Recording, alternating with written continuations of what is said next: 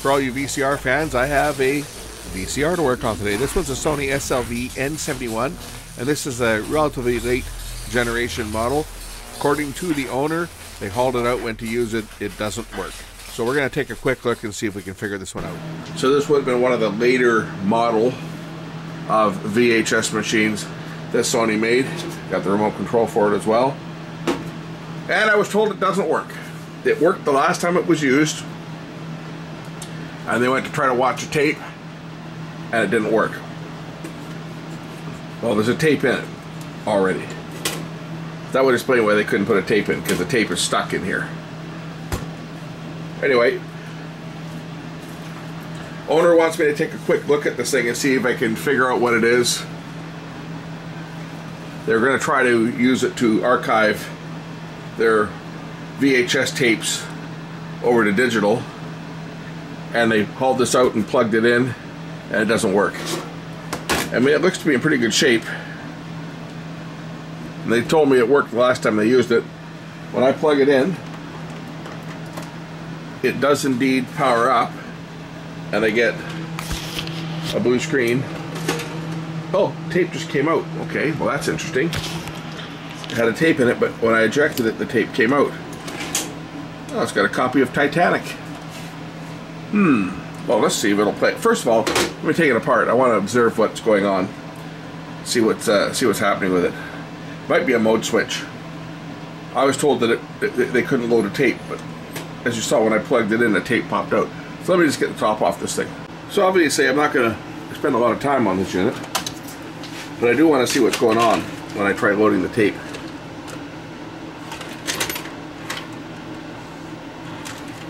Okay, drum's not turning. And of course it's trying to play, but there's no picture because the drum's not turning. So we have a, a drum failure on this, either either something on the drum board or something uh, like something on the motor board or uh, something on the main board in the servo. So that's where we're going to begin. We're going to begin by, I'll pull the drum apart first of all and see if there's anything obvious uh, on the drum itself, on the motor. See if it'll eject.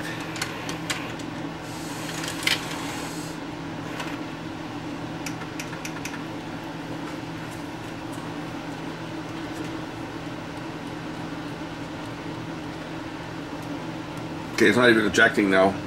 That's weird. Won't do anything. It's just slowly turning the tape backwards. If I unplug it, plug it back in. Now it ejects. Hmm. May have a couple problems, but first things first, we need to solve the problem with the drum not rotating. So first things first, I'm going to remove, I'm going to mark where it is first. Something to mark this with. Put a mark on here so I know which way it, it faces.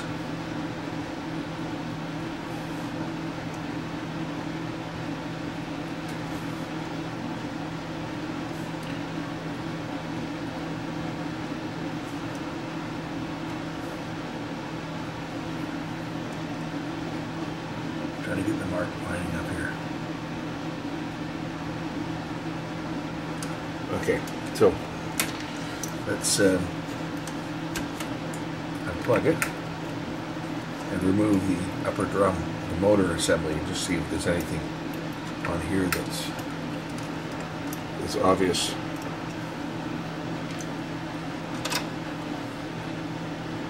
So there's some Hall effect sensors on here and some resistors and the drive IC is on here as well. Let's just check this one out. If you take the motor off of one of these, be sure that you don't let that little spring, which is going to pop out, stick to the magnet of the rotor here. That's a grounding spring. What that does is that provides a grounding effect for the upper drum. So it just it just presses up against the. Uh, I think there's probably a carbon, probably a carbon tab in there that, uh, or carbon electrode that presses up against and what that does is that just presses up against the rotating part of the drum to um, keep any static electricity from picking up on the drum surface which would cause white streaks to appear on the picture. So that's important that you put that back in, like it just sprung out like that. You see, that's what you gotta be careful of. Is that it is magnetic and it will fly out if you're not careful and stick to the magnet. And you wouldn't want to put one of these back together with that between the magnet and the actual stator. Otherwise you'd end up with a ground up spring, a ground up magnet, and a stator that is shot. Okay, first things first, I'm going to check the continuity. There's some um, zero ohm jumpers on here. The way it's behaving, it's behaving like there's no power, and I haven't checked it to see if there's any power yet. I'm just going to check this first, see if there's a problem on the on the actual motor control board. Otherwise, I'll go back and look further back on the set. But I'm just going to check some things quickly here to make sure I've got continuity through things such as coils. Yep.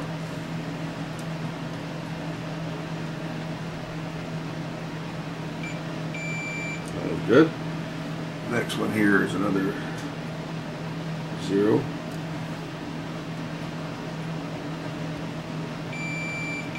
That's good.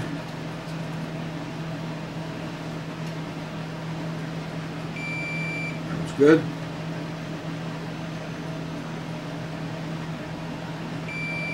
That was good.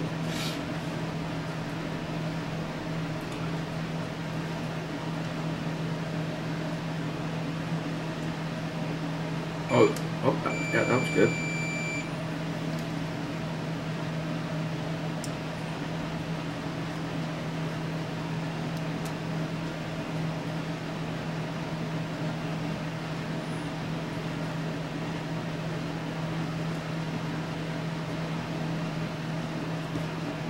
Right down here. That was good.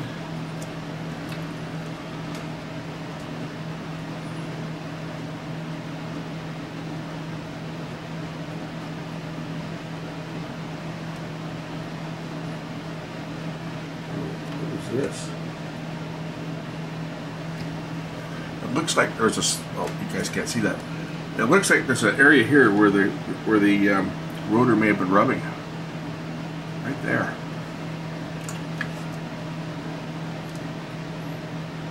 Right on that trace there. Look at that.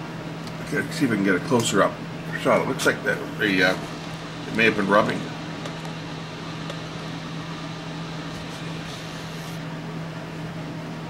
Doesn't it?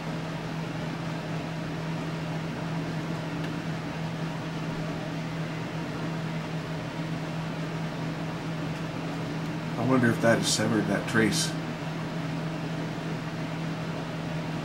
That looks like that goes from. If we look at this, looks like it goes from this jumper here, goes across and ends up over on this one.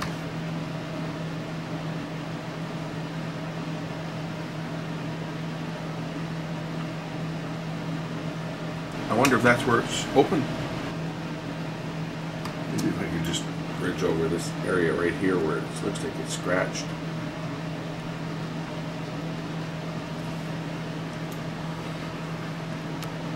Okay, I'm just going to try and apply the lightest amount of solder I can. See if I can just bridge over that area where it appears to be scratched.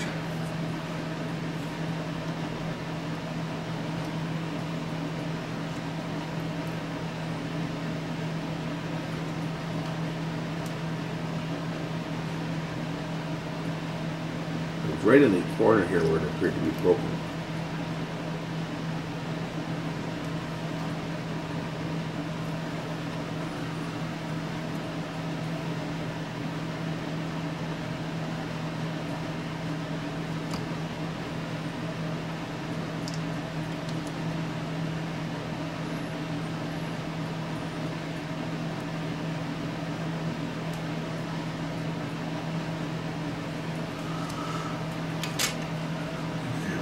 Continuity now.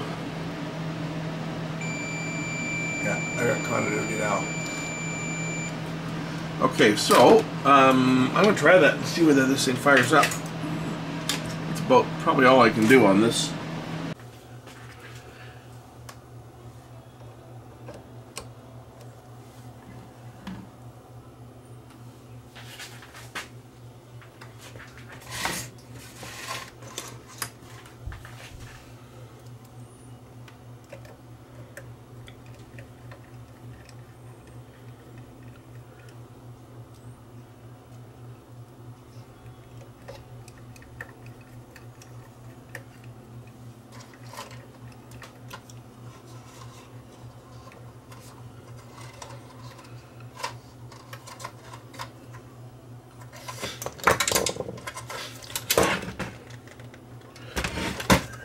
way.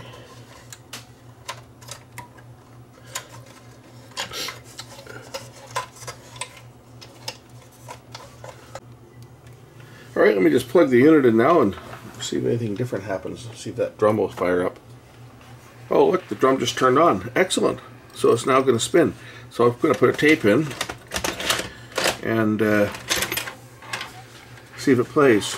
I guess I better shut the sound off on this if it does.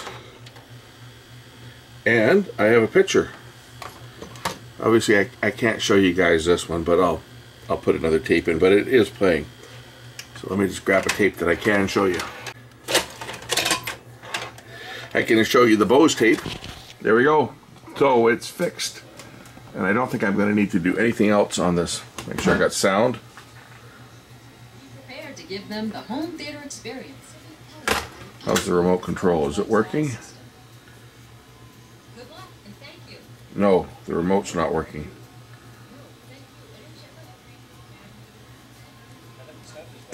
Remote control's not working. I wonder if it's sending out a signal. Let's see here. Night shot.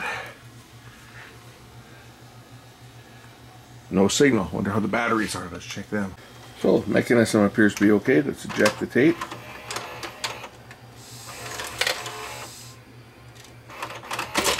Now, of course, I'm going to clean the machine. I'm just not going to do it on camera. There's no point unless you guys want to actually see me clean the heads. Do you want to see me clean the heads? I've done it a hundred times before. Use a piece of paper soaked in isopropyl alcohol and press it up against the drum and rotate counterclockwise.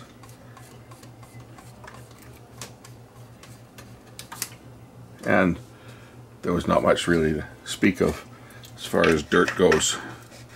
We clean the audio control head the same way. I can use a piece of paper as well, or I can use a, a cotton bud, Q-tip, whatever you want to call it.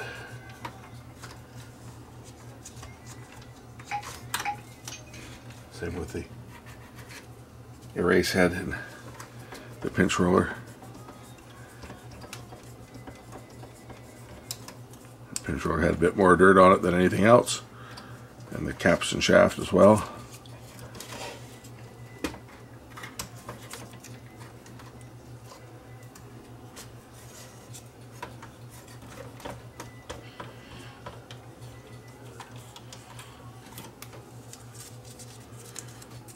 Okay, time to put this one together and then we'll tackle the remote control.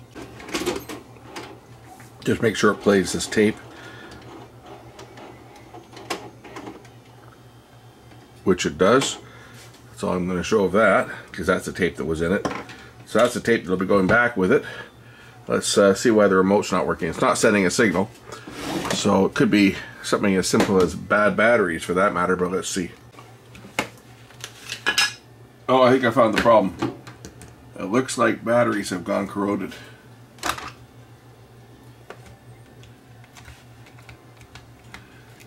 What type of batteries are these? Yeah, IKEA specials. Made by Varta for IKEA. Made in Germany. Oh, uh, yeah, from 2008. You think that might be a reason why they're leaking? Both of them are leaking on the negative terminal. We're going to clean the crud out of here. I don't know if it's gotten in. Oh, it's, it's gotten onto the board too. So I guess I'll have to take this apart and clean it up. It's definitely on the spring terminals. We'll clean this up. Um, just going to go get a Q-tip and put some uh, vinegar on it. These are alkaline batteries, so how you counteract alkaline battery leakage is with uh, a mild acidic solution, acetic acid or vinegar. So let me just go get some vinegar. Got a Q-tip with some vinegar on here. We'll just put that onto the contact and let it bubble away. That'll take off any remaining corrosive crap left behind.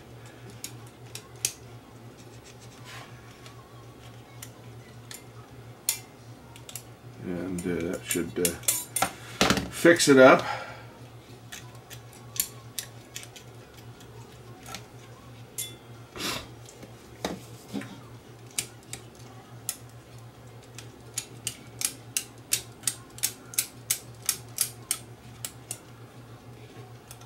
Try another set of batteries in here and see if that works. Hopefully that's all that's wrong with the remote. Let's see if it plays. Oh, sending out a signal now. And it plays. So the remote works. So there you go now. The remote control is now working. You can see I can stop it, eject.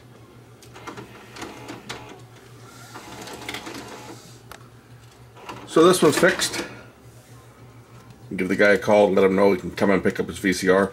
I, I'm not making any money on this. You know, the secondhand store sells VCRs for like 25 bucks, so there's no money in fixing this. But at least I can buy myself lunch. Thanks for watching. Catch you later with the next one. Bye.